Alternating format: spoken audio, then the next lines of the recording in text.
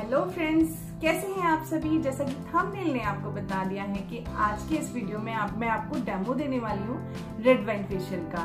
सबसे पहले तो मैं आपको बता दूँ कि ये वाला वीडियो कोई भी प्रमोशनल वीडियो नहीं है। ये मेरे अपने एक्सपीरियंस से मैं आपके साथ शेयर कर रही हूँ और जो भी कुछ मैंने अब तक इसके साथ एक्सपीरियंस किया है इस फेशियल के साथ, वही मैं आपके साथ शेयर कर रही हूँ।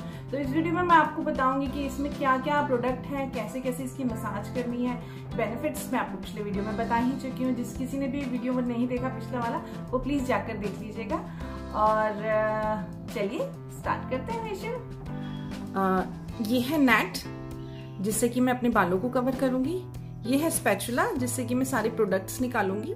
ये है टिश्यू अभी इनको मैं वेट करके रखूँगी।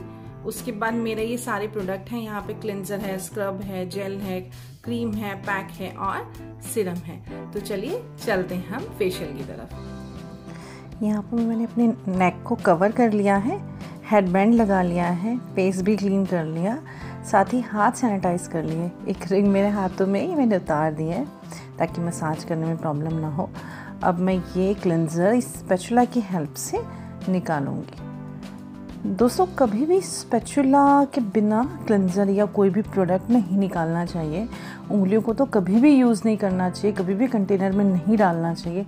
इस बात का आपको हमेशा ध्यान रखना चाहिए। यहाँ पर मैं क्लेंजर कर रही हूँ और क्लेंजर में पानी की हेल्प से स्प्रेड कर रही हूँ पूरे फेस पर।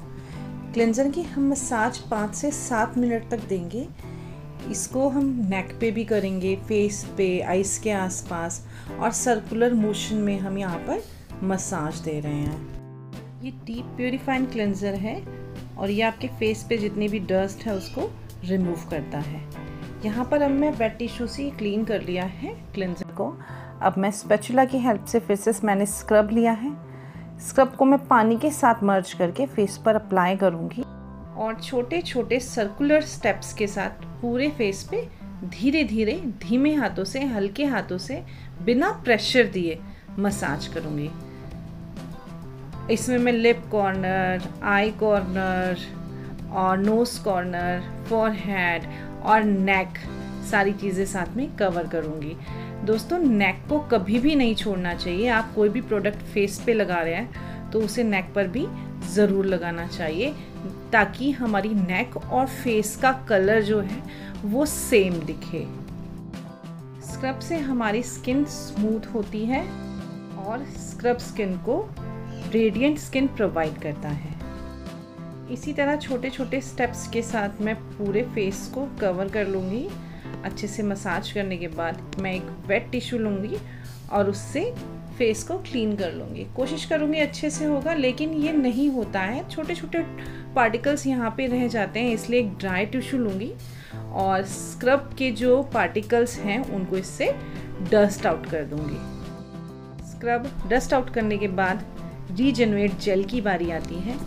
इसको हम फिर से स्पेचुला की हेल्प से लेंगे। दोस्तों, इसका जेल जो है, वो बहुत ही अच्छा है। बिल्कुल क्रीम फॉर्म में है। जब हम इसको हाथ पे लगा के फील करते हैं तो क्रीम क्रीम और जैसे इसमें सिरम मिला हो, ऐसे इफ़ेक्ट आता है इसका। ऐसे फील होता है ये। इसको हम पानी की हेल्प से पूरे फेस पर स्प्रेड करके बड़े बड़े सर्कल्स में मसाज करेंगे। इससे हम सारे एरिया कवर करेंगे, इसमें हम नोज़ आइज़ आईब्रोज फॉरहेड पूरा कवर करेंगे। इसको मसाज करते टाइम हमें आइस को अवॉइड नहीं करना है। ये जेल हमारी स्किन टोन को इवन करने में और ग्लोइंग करने में बहुत हेल्प करता है। इसकी मसाज इसी तरह हम करेंगे। पूरे फेस को अच्छे से कवर करेंगे। यहाँ पर नेक भी अच्छे से मसाज करेंगे। नेक पर भी पूरे फेस पर देखिए हम फॉरहेड और मैं थोड़ा सा फास्ट करके आपको दिखा रही हूँ। मसाज तो मैंने काफ़ी काफ़ी टाइम की थी।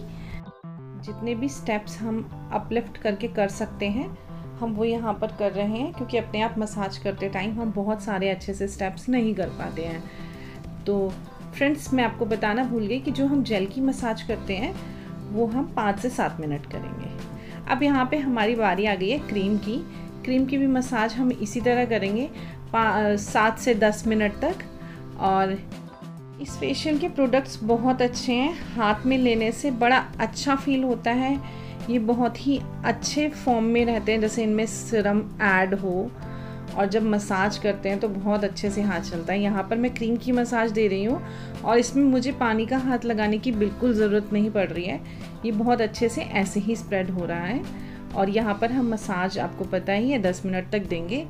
इसके बाद हम अच्छे से मसाज करने के बाद फेस नेक और ईयर्स हम अपने कानों को भी यहाँ पर कवर करेंगे। तो एफवाईसी का ये फेशियल रेड वाइन फेशियल इतना अच्छा है, मुझे तो इतना पसंद है।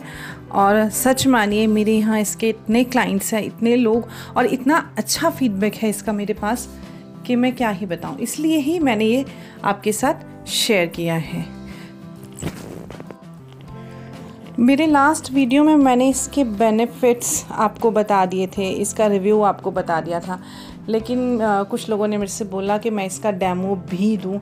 इसलिए ये वाला वीडियो मैं स्पेशली बना रही हूँ इसका डेमो का क्योंकि बहुत लोग जो किट लेकर घर पे करते हैं तो उनको थोड़ा सा आइडिया चाहिए होता है कि किस तरीके से फेशियल करना है।